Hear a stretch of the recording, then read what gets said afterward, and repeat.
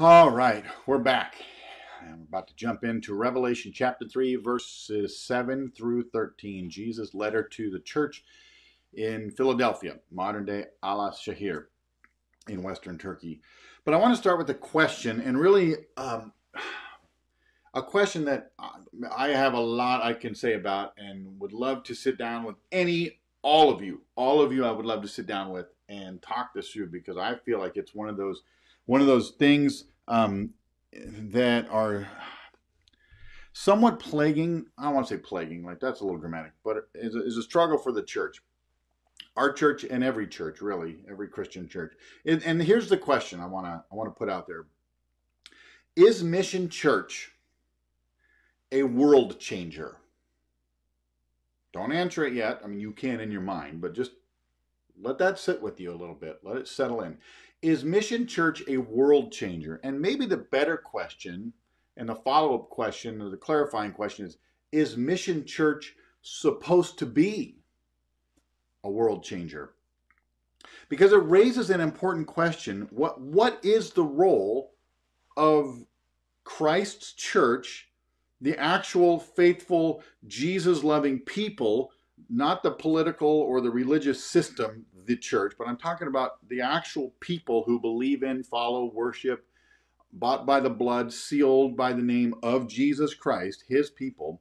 What's the role of the Christian church with the world? What what's the relationship? What are we supposed to do here? What's the effect we're supposed to have? And and I will say many of us have been uh, convinced or at least told that and, and I hear this a lot with uh, younger a younger generation, junior high through college age, especially, um, even into the you know 30s, like you got to be a world changer. This church is a world changer. We're going to change the world. And and on one hand, yes, we want to we want to leave this world to leave a better place than when we got here. That's each of us should do that. We should do that in the living room. We should do that in the kitchen. We should do that at a friend's house. We should do that in the world. Like try to make it a, a better place. But that's a different question. That's a different sense of world. That's your world. That's your relationships. That's that's a sense of leaving blessing in your wake. But is the church, Mission Church and the church in general, a world-changing force? And I'm going to say no. And I'm going to also stand on a conviction that it's not designed to be and it is far outside of our scope of capability to change the world. One of the, and here's why. Um, one of the things we see throughout the book of Revelation, especially, is that there is a, a, a group of people who are sealed by God, chosen by God, marked by God with His name for His kingdom, and they are they are uh, Christians. This is us. This is the church, and that all through history, not at some appointed time in the future yet to come, but from the time Jesus arrived uh, resur- and died and resurrected until the time he comes again, in between these two advents, the church is going to be assaulted at every angle by our enemy, the devil, who uses this world. Fact, John says in his first epistle, First John, he says, We know that we, the church, we Christians, are of God, and this whole world is under the control of the evil one. In that sense, it's a fool's errand for us as the church to change that, to say we have to somehow rip the world out of the devil's hands and reclaim it. Um, that's what Jesus did at the cross. That's what he began. That's what he he implanted and germinated by his blood and and proved was going to happen by his resurrection. And he calls us into that as we wait on him for that great victory. So, probably went on too long with that whole thing. But as we get into this letter to the church uh, in Philadelphia, I, I, want us to, to, to acknowledge that, um, that we are called to, to call out of the world those who are ensnared by it in that sense, we're changing, we're being used by God to change their world in the way somebody was used by God to change my world and change your world. But this world, this system opposed to God, is not for us to change, it's for us to uh, call out against and to call people out of. Let me read for us Revelation chapter 3, verse 7 through 13. Um, Jesus' letter that he's dictating to John, the apostle, to have read to the church in the city of Philadelphia. He says, And to the angel of the church in Philadelphia, write the words of the Holy One, the true one, who has the key of David, who opens and no one will shut, and who shuts and no one will open. That's talking about Jesus. Jesus says, I know your works. Behold, I have set before you an open door which no one is able to shut. I know that you have but little power, and yet you have kept my word and have not denied my name. Behold, I will make those of the synagogue of Satan who say that they are Jews and are not, but lie. Behold, I will make them come and bow down before your feet and they will learn that I have loved you. Because you have kept my word about patient endurance, I will keep you from the hour of trial that is coming on the whole world to try those who dwell on the earth. I'm coming soon.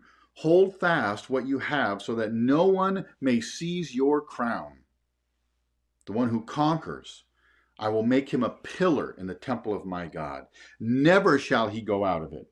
And I will write on him the name of my God and the name of the city of my God, the New Jerusalem, which comes down from my God out of heaven, and my own new name. He who has an ear, let him hear what the Spirit says to the churches. Whew, that's the word of the Lord. Mm. The city of Philadelphia um, was founded and named in 189 BC by King, um, probably going to butcher his name, King Eumenes, in honor of his brother, Attalus. Attalus's love and loyalty towards his brother, the king, is, is what caused um, Eumenes to name the city. And Attalus was his successor, so Attalus became king. Attalus was nicknamed Philadelphus of Pergamosa and Attalus Philadelphus. So, literally, the name of the city Philadelphia doesn't mean city of brotherly love, it means the city of a brother's love. It was named because the king's brother was so loving and loyal and good and himself became king. That, that's the history of the name, the city of a brother's love. The city was situated about 75 miles east of the Aegean Sea, east of the modern day city Izmir, which was the ancient city of Smyrna, which we read about a few weeks ago. Uh, and the, this town, Philadelphia, was one of the great was one of the greatest uh, trade routes in the world, linking Europe to Asia. The city, in a sense, held the key to the door through which a lot of east-west trade and commerce passed. Hmm, interesting. So there's a little history. In 17 AD, uh, the city of Philadelphia, much like a few of the other cities in that region, were devastated pretty much overnight by a giant earthquake. Um, and as we'll see, it, it, went through a lot of transformations. Uh, Philadelphia was given re, was um, relieved of paying tribute to the king, to, to the Caesar, um, because its devastation was so great, and they actually changed the city name for a while, and we'll talk about that in a minute. Lots of interesting history about the city that I think comes to play into Jesus' letter to the church there. But I want us to be, I want us to remember, Jesus is not writing a letter to the city of Philadelphia. Jesus is writing a letter, in fact, it says, to the angel of the church in Philadelphia, to the Christians who are in that city, who have shared in all these experiences, who have the same history, but have this new destiny and this new future because of their faith in Christ. It was not a, a, a, powerful church. In fact, we, we see right here in verse 8, look, I know, this, is, this is great. I love this. Jesus is saying, look, I know you have but little power. I, I know that. I see that. I get it. Um, the church in this city was not a world changer. It was never going to be. In fact, was getting pretty pushed around by um, the, the powerhouse religious system that existed there. And we'll talk about that in a minute. But here's what I want us to see through this letter to the church in Philadelphia that because of the absolute authority and the grace of Jesus, he gives his faithful church four incredible things. And, and they rattle off really beautifully. And this is what I hope you remember. Here's the points. Jesus, by his authority and his power, because remember, he's the Holy One, the true one, who has the key of David, who opens and no one will shut, and who shuts and no one opens. Because of that, Jesus gives us invitation into his family. Jesus gives us vindication. Jesus gives us preservation, and Jesus gives us transformation. How about that? That's gonna that's you're gonna love just saying that. Invitation, vindication, preservation, transformation. Here we go. Invitation. You have been welcomed in. I know your works. I've set before you an open door which no one is able to shut. The church in this city was not powerful. It wasn't influential. It wasn't politically active, or they weren't changing big policies. Every everything they would have tried to do would have had to have been kind of under the radar and and quiet because they just weren't given any kind of influence by those who held power in the city. And here's what's beautiful: Jesus never uh, rebukes that. Jesus never tells them to change that. He never says, you know, you need to start being more influential. You need to start being more political. You need to start being more involved. You need to change the city he never says that. He says, I know, I know that you have but little power, but you have kept my word and you've not denied my name. Because that's that's what gives them the welcome. That's what that's what assures their invitation. Whose name is on the invitation? My name invited by. Invited by Jesus, the Holy One, the true one who has the key, who opens and no one shuts, and who shuts no one opens. That's who invited me. And when you keep his word, when you believe in Jesus, that invitation is yours. The powerhouse religious system of Philadelphia was the synagogue, was Judaism. And it was not uncommon in that day and in this region um, for the synagogue, for, for the Jewish community, and the Jewish religious system, to have become really wrapped up with the social political system of Rome and were pretty much bullying the Christian church, working hard to convince them that they were, in fact, not God's chosen people. They were not His redeemed. They had no share in the kingdom. Look at you. You're, you have such little power. If you were really God's people, don't you think you'd have more influence and, and impact on the people around you and the city would be a lot better. But no, you're not. They would pull out their verses and they would pull out their history and they would pull out their theology to show how Israel is the true people of God and not you who believe in Jesus. And they would discount the, the cross and they would do all their things because they were so well resourced and really backed by Rome in many ways, or at least left alone by Rome. They exerted this bullying, push around posture against the Christian church. Religion does this to us. It always has, and it always will. In fact, um, in chapter 13 of the book of Revelation, uh, and this kind of tips my hand as to how I'm approaching the whole book that it's not so much like and then one day a beast comes up out of the sea and then another day a beast comes up out of the land and here's who that beast is. No it's it's it's the lord's way of revealing to john and john's way of trying to john's way of recounting that revelation and vision that this is what goes on all the time. This has been the case. The beast that rises out of the land is this religious system that constantly assaults the church constantly is against God's anointed, God's chosen people who have put their faith in Jesus. Um, religion, that's what religion does. It's a system of works that claims that when, when the works are done correctly, God is then obligated to love us and he's obligated to redeem us. We gain control. We can say, I've earned this, I deserve this, I can bring my claim of right to God and say, Look, I've done the work and you owe me redemption. You owe me favor. You owe me uh, love. But that is not true. Regardless of what you've experienced of religion in that way, and I mean religion in the sense of that, that system that we, that people set up uh, to determine whether or not you're worth God's love and favor and his eternal blessing. I know that many of you ha- are coming out of something like that.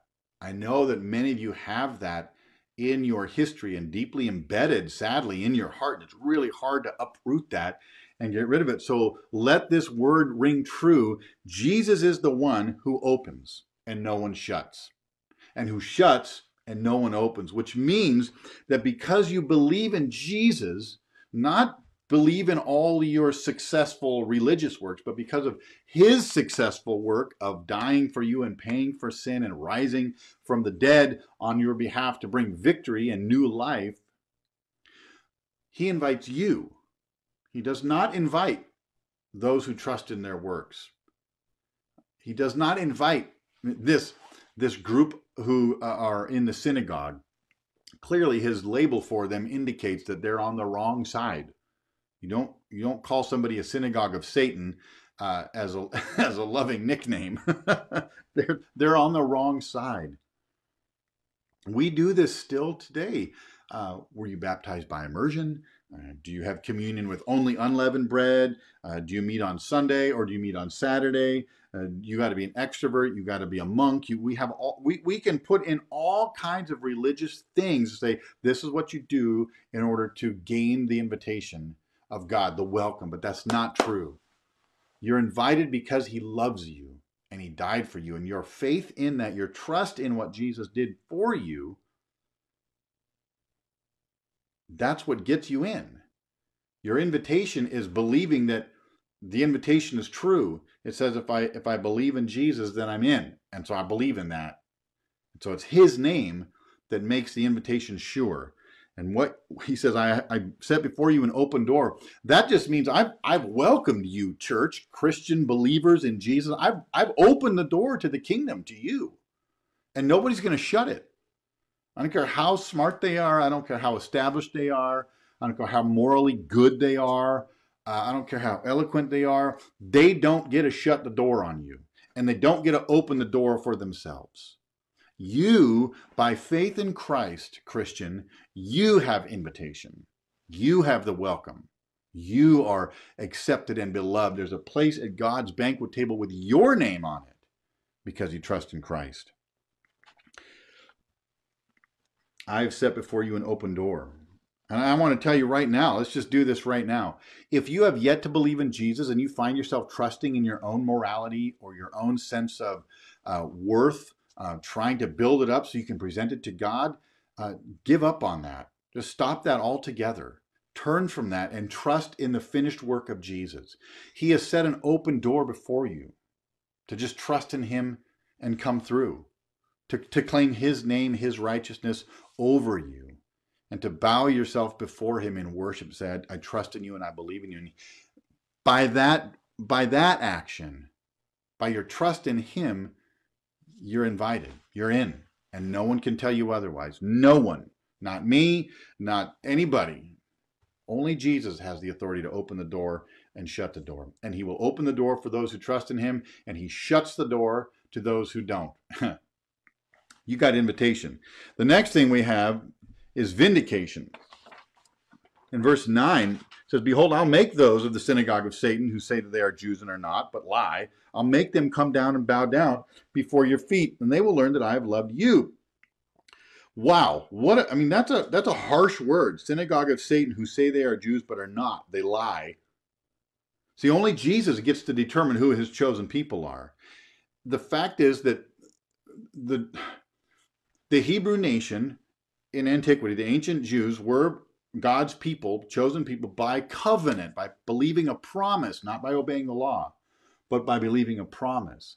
So when Jesus comes as the final and ultimate son of promise, Isaac, in, in other words, uh, Abraham's son of Isaac, when Jesus fulfills that promise, I will give you a son, and we believe in that, then we are God's people. And so, Christians, believers in Jesus, are the new and fulfilled Israel.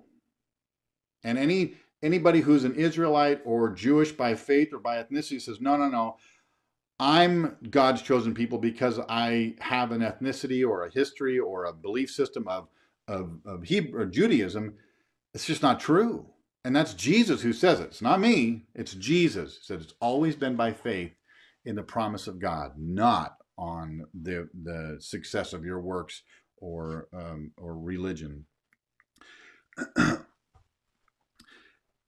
says, I'm going to make them come down. I'm going to make them bow down before you, which I'm telling you, when you've been bullied around by a big, powerful religious system in a town like Philadelphia, and you're this small little church, a little band of Christians, uh, when Jesus himself says, I'm going to make them, they're liars, they're the synagogue of Satan, they're not on the right side, but they're going to come and they're going to bow down to your feet and they're going to say, We were wrong. We have learned. We have learned because Jesus has set us straight, we have learned that God has loved you and not us. He has loved you by faith, and we rejected him by faith, and so we don't have his love. That's vindication. Now, we're kind of conditioned to think this is a bit selfish, and yet our souls long for it, don't they? Doesn't, it, doesn't that just like, oh, that would feel really good? Is that mean? Is that selfish? Is that self righteous of me to long for that? It's not. See, this falls in that great realm of justice, and that's why it's desired and it, it's delightful to, to think about and it's enjoyed. This isn't gloating, this isn't taunting, this isn't us knocking somebody down and standing over them and saying, ha ha. Mm-mm. That's us standing in humility before God and having our opposers and oppressors come back around and acknowledge they are wrong, which gives God great glory. Now, this is actually, uh, uh, this little sentence is loaded from Isaiah. I'm going to turn to a couple verses from Isaiah. Verse 45, verse uh, chapter 45, verse 14 says, Thus says the Lord, the wealth of Egypt and the merchandise of Cush and the Sabaeans, men of stature, shall come over to you and be yours. They shall follow you. They shall come over in chains and bow down to you. They will plead with you, saying, Surely God is in you, and there is no other God besides him. So this is God telling the Israelites uh, through the prophet Isaiah that because of their faith in him, he's going to bring all these other nations who have mocked them and opposed them and oppressed them. You're going to bring them all and they're going to bow down to them and say, You are right. There is no other God but yours. And then in Isaiah uh, 60, verse 14, check this out. Uh, the sons of those who afflicted you shall come bending low to you, and all who despise you shall bow down at your feet. They shall call you the city of the Lord, the Zion of the Holy One of Israel.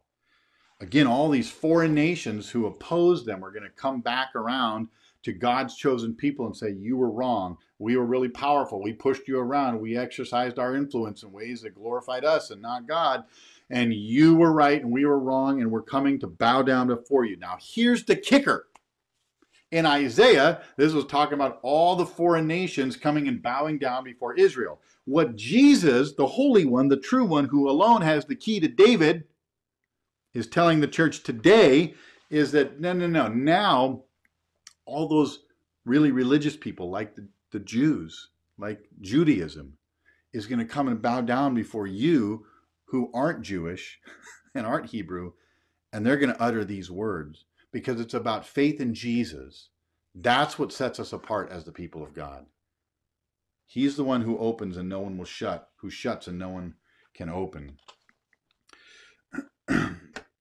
Here's what's important for us today in our very triumphalistic culture where all sides want to bring about their own vindication.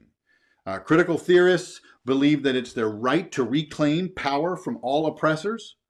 Right wing religious nut jobs, uh, plenty of those, uh, believe it's their right to usurp whatever government is going on around them so we can usher in and, and claim what we believe is ours, what they believe is theirs. I don't want to associate myself with that group. But here's what Jesus says, and here's what I want us to hear. In, in our triumphalistic culture, listen, Jesus says, I will make them. You don't get to make them. You don't get to make them come down and bow before you. Jesus says, I will make them. He says over and over in these letters to, to the churches, I'm coming soon. And I don't think he's referring to his final coming. I think he's speaking about these interim arrivals where he comes and he judges churches and he takes away lampstands and he brings persecution and he brings um, tribulation upon those who are disobedient and walking in sin. I think that's what he's talking about. I'm going to come and make them bow down to you. And ultimately, of course, when Jesus does arrive again at his final coming, there will be a great vindication for all of us who trust in Jesus, who walk humbly before our God, who over and over and over take it on the chin from this world, trusting and waiting upon our vindication. So let that ring true. You may feel like you're getting pushed around and pushed lower and lower and lower by this world, but there's a day coming where you will be vindicated because Jesus says, I will make them bow down and they will learn that it is you that I love, not them. They're going to learn that I love you and I loved you. Good news. So, church, please entertain no delusions of grandeur that somehow the Christian church is going to rise to a place of prominence and popularity and power in our world. We will always appear to have little power. We follow the Messiah of God Almighty who was crucified. This will be, this is our word. I know you have little, I know that um, you have but little power. So, Mission Church, let's just own it. We have, according to this world, little power, but we keep His word. We do not deny His name. He will vindicate us. In fact, Psalm 27, which you read earlier, says in verse 14 Wait for the Lord, be strong, and let your heart take courage, and wait for the Lord. We got invitation, we got vindication, we got preservation. This is a verse, uh, verse 10. Let me just read this again. Because you have kept my word about patient endurance, I will keep you from the hour of trial that is coming on the whole world. Try those who dwell on the earth. This is a verse that's often used to prove some kind of rapture of the church, some escape uh, caught up in the air, and then all this trouble and tribulation comes on the earth, but we get to escape it. And there's all this controversy and argument about does he pull us out before that? Does he leave us here through it? Uh, and this verse has nothing to do with that. In fact, ironically, it's not ironic, it's intentional. Uh, the word rapture is nowhere found in the book of Revelation. That's not a thing that we're going to read about here, where uh, somehow the church just gets exempt from any suffering. Um, in fact, Nowhere in Revelation or elsewhere in the Bible are we as Christians promised an exemption from suffering. In fact, quite the opposite is true. It is in times of suffering that we are kept and guarded and preserved by Jesus as his beloved people. In fact, he himself prayed in John 17 says, "I do not ask, he's praying to the Father, Jesus is, I do not ask that you take them, his us, his people, that I don't ask that you take them out of this world, but that you keep them from the evil one, so that when they go through the same sufferings, they are kept, they are guarded, they are not hardened against God, that we are not lost. Those who do not believe in Jesus can't, can't make a claim to this promise. See, without his preservation, we are all subject. We're all subject to the evil one. That's why he calls the Philadelphia synagogue a synagogue of Satan. That's why he's done that, because they've let themselves go and they don't believe in Jesus. We're all subject to the evil one if we don't keep his word and believe it. Here's what uh, one commentator, G.K. Beale, says in his writing. It's worth the whole paragraph, so I, I wrote it down here. The purpose of this testing, he says, I will um, keep you from the hour of testing, the hour of trial, the purpose of this testing is a judgment on those who are earth dwellers. And the word literally means um, those who uh, claim as their ultimate home, those who belong in that spot. Earth dwellers. Which is a technical term in Revelation that refers exclusively to the unsaved, especially idol worshippers. Believers, however, though remaining in the world are and exposed to its physical dangers, will be kept from the spiritual harm of testing. That is, from the negative effects of this judgment, in that they will be kept spiritually safe and even strengthened in their faith, while unbelievers will be further hardened against God by the very same trials. Here, let me let me give us an example. Uh, COVID nineteen is a worldwide pandemic. Have you heard of such a thing that if you really believe in Jesus, I'm sure there's some crackpots out there saying this, so maybe this isn't the best illustration, but it's too late. I'm in it. Have you heard people say like, if you really had faith, then that's what will keep you from the hour of suffering? That if you really believed enough in Jesus, it says that he will keep us from the hour of trial that is coming on the whole world to try those who dwell on the earth. Well, of course, that's ridiculous.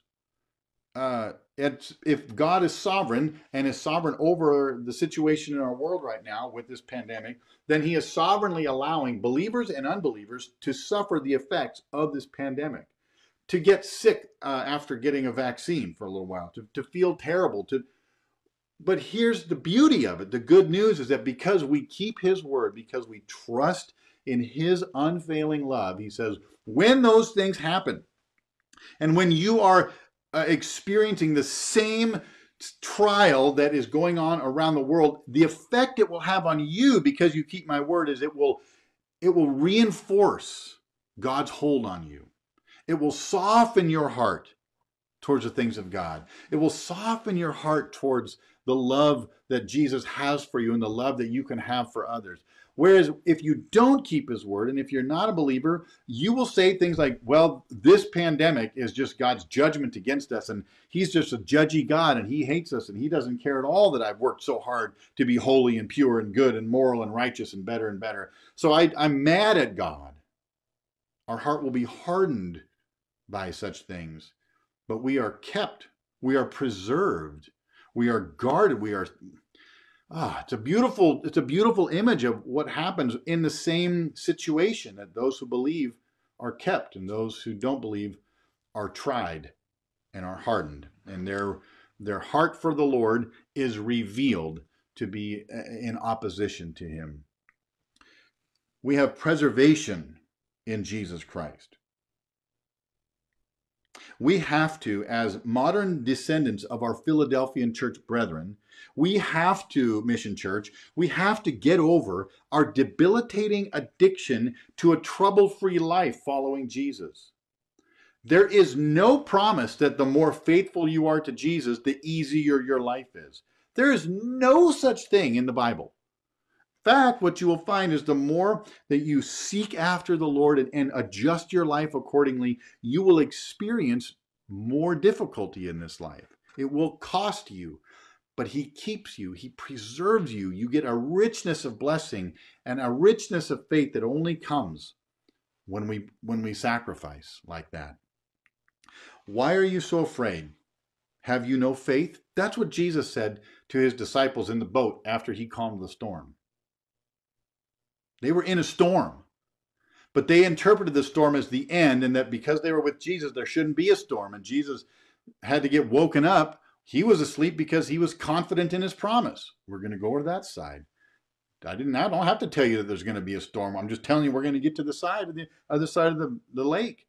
But they woke him up convinced, like, well, how can there be this horrible, scary storm if we're with you? And he says, What's wrong with you? Don't you have any faith? I'm keeping you in the storm, but you still get to ride the storm. So have no fear. You are going to be preserved.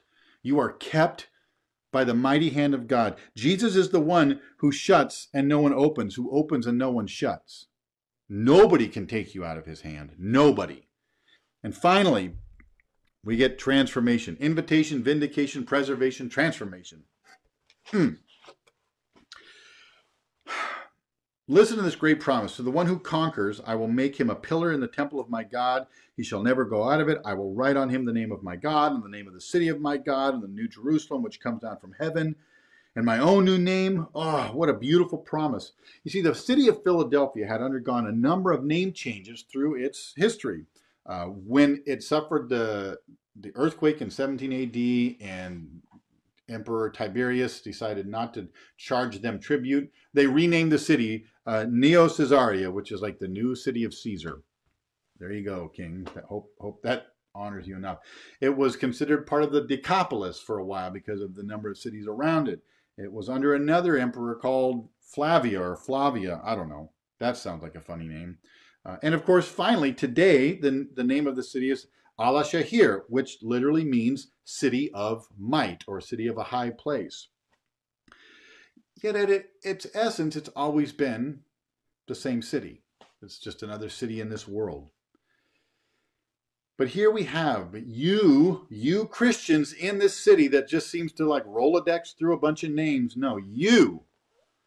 I'm going to write, I will make you a pillar in the temple of my God, and you shall never go out of it. This is where you belong. I will write on you the name of my God and the name of the city of my God. You are different from where you live. You are not of them. You are not of that place. I want you, if you got a, a, writing utensil, go through maybe just this last couple of verses and underline how many times Jesus says, I will. In fact, you could do that through verses 8 through 12, and, and you can use some ink there because he says it a lot. I will, I do this, I will, I will, I will. It's Jesus who transforms us, who gives us this new nature. When you believe in Christ and you hold fast to what you have in Him, you do not become a world changer, you become changed. Your whole world changes. And Jesus writes on you a new identity. This is who you are. And you become a sharer in His great name, of His great city, of His great kingdom. That's where you belong. You're not an earth dweller, you're a Jesus kingdom dweller. In John chapter 1, Jesus, uh, the Word of God says that to all who believe in His name, He gives the right to become children of God, born of God. That's what happens to you. You are transformed. You are changed from the inside out. He marks you as His. He doesn't just give you a ticket and say, don't lose this. He changes your whole nature to be a child of God. This is what Jesus does, and nobody can undo when you put your faith in Him do you have little power in your life? Do you feel like you're a person of little power? That Mission Church is a church with little power? Do you feel like you're getting pushed around and bullied by religion? Are you being told you'll never measure up? You'll never be included? You'll never have what it takes? You'll never do enough? Well, hold fast. Grip the gospel of Jesus. He is the one who gives you invitation, and no one can take it away. No one can deny your entrance. He is the one who gives you vindication. So no one can take away, uh, no one can, can unjustify you. He is the one who gives you preservation, so no one can snatch you out of his hand. You are his forever and ever. And he is the one who gives us transformation, so we are new. I am new. I am a new person. And that cannot be undone. What he opens, no one shuts and what he shuts, no one opens. Let me close with uh, again a verse from Psalm 27. Before we before I pray for us and we switch over and sing our songs, here's what it says in Psalm 27 verse 6. And now my head shall be lifted up above my enemies all around me, and I will offer in his tent sacrifices with shouts of joy. I will sing and make melody to the Lord. Praise his name for what he has done. Lord Jesus, you alone bring us in and keep us and change us by your great name, by your great power. So we trust in you, O Lord, and we wait on you. Would you please guard us from the arrogance and the elitism that comes with thinking that we can somehow change this sin wrecked world? That's something only you can do. And you can only do it by the power of your blood and by the declaration of your forgiveness, one soul at a time. And we thank you, Lord, that you are coming again. And when, when you come, we can experience the fullness of joy and glory in your name. Oh, Lord, I pray for any who are listening who don't yet know you as Savior, who haven't put that faith in you, who are still trying to work their way into your kingdom and earn an invitation by their own religiousness. Give them rest and the assurance and, and awaken their hearts to hear you, your voice say no. Just say yes to Jesus and enter in and be transformed. Lord, we, we will keep your word because it gives us life. Thank you so much that you have made us uh, triumphant in you, that we conquer by your conquering love. We pray in your great name. Amen. Amen, everybody. I love you. I hope you have a great Sunday. Get on over to YouTube and sing along with the songs we've got on the playlist and have a wonderful Sunday. See you next time.